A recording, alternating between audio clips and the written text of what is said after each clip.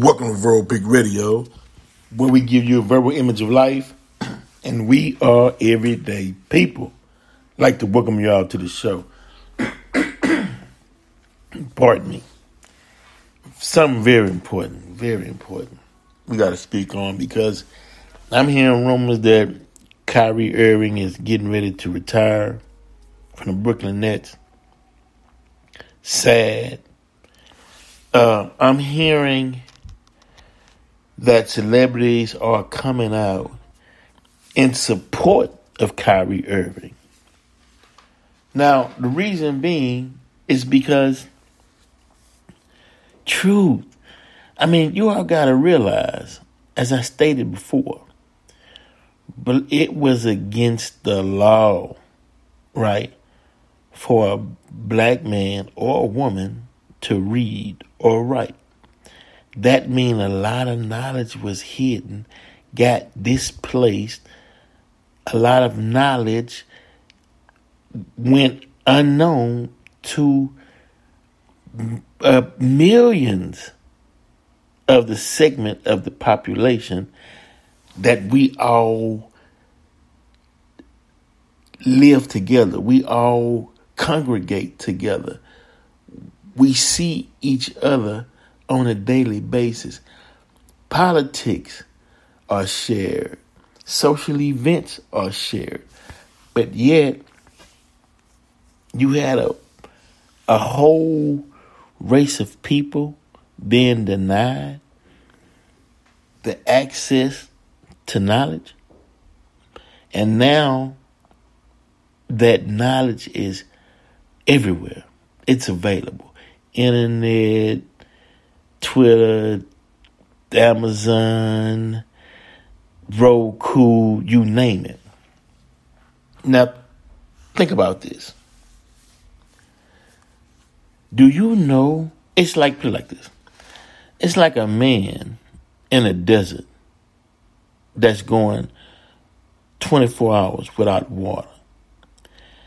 And when someone shows up with a water bottle, do you know how thankful, how grateful that man will be just to get a sip?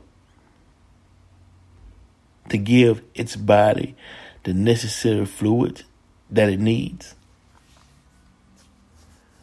So, what do you think when black people start researching and start finding out who did what first when the propagandist and the racist put out otherwise, put out lies first.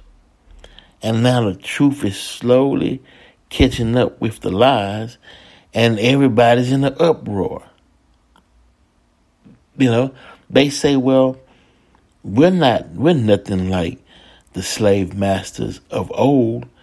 And you say, well, why are you still trying to punish people for putting out truth. Right? Now, it may we're not worried about the the way the truth is put out. Meaning, uh, someone might say, uh, uh, "Damn it!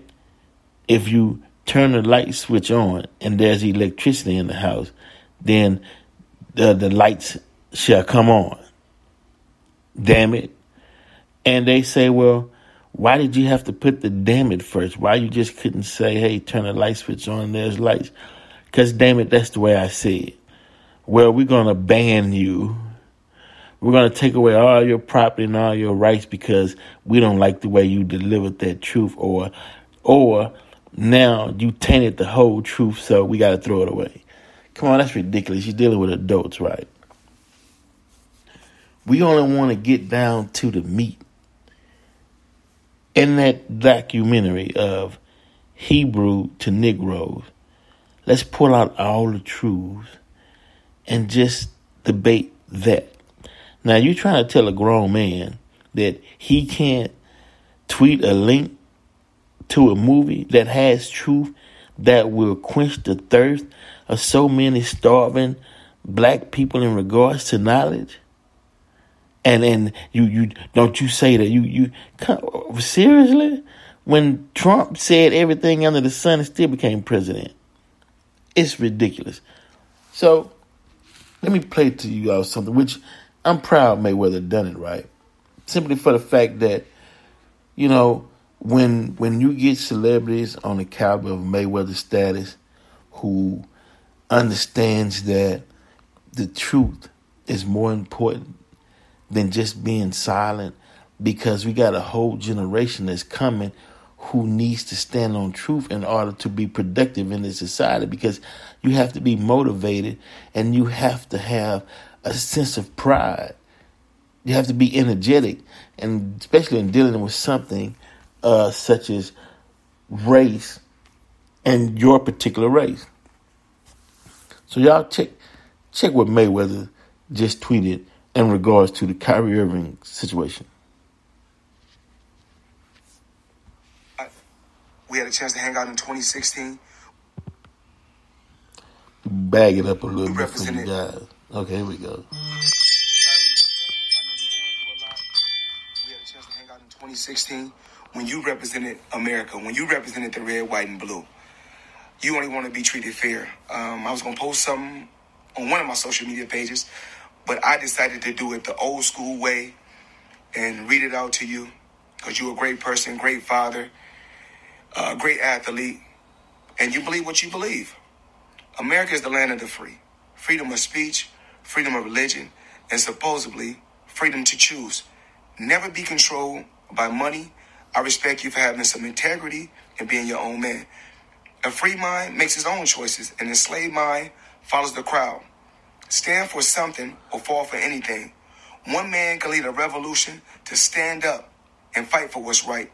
One choice, one word, one action can change the world. It's crazy how people hate you for being a leader. I hope your actions encourage many others to stand up and say enough is enough. Respect to you, Kyrie, and power to the people. Now, come on. Come on. A free mind makes its own choices. A free mind makes its own choices, meaning I can tweet a link to a documentary that has information that I feel like is good for the people as far as far as a fact finding uh, expedition for those who seek knowledge. Now, someone says, well, I don't like you since you have a uh, since you're a celebrity and you have a big platform. I don't like for you to share that type of information with your people. And that's where the problem begins. It's like, what, what the hell are you saying? Who are you? Right? Who you you you're not my owner.